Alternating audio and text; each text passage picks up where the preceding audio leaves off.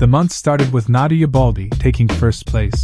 Soon after, Acharya Prashant takes the lead, and right after, it's Mr. Beast's turn to take the lead. However, at the end of the fourth day, the first place was taken by Big Tasty. Mr. Beast tries to get closer, but Big Tasty remains strong in the lead.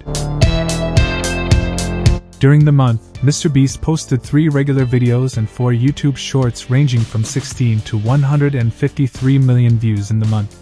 In turn, Big Tasty posted 368 YouTube shorts, an average of almost 12 shorts per day, ranging from 79,000 to 85 million views in the month.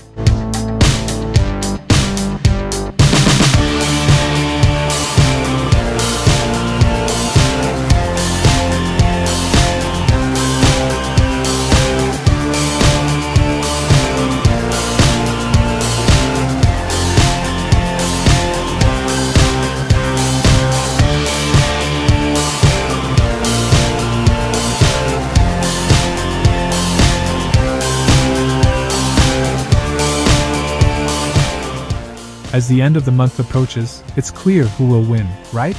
Well, maybe not so clear, because 48 hours before the end of the month, the story takes a twist when Mr. Beast takes the lead. On the most watched channels of the month, five channels made more than 2 billion views, which is two fewer channels than the previous month. In the final top 15, we have T Series and Cocomelon as usual, but also Mr. Beast, who had his most watched month ever.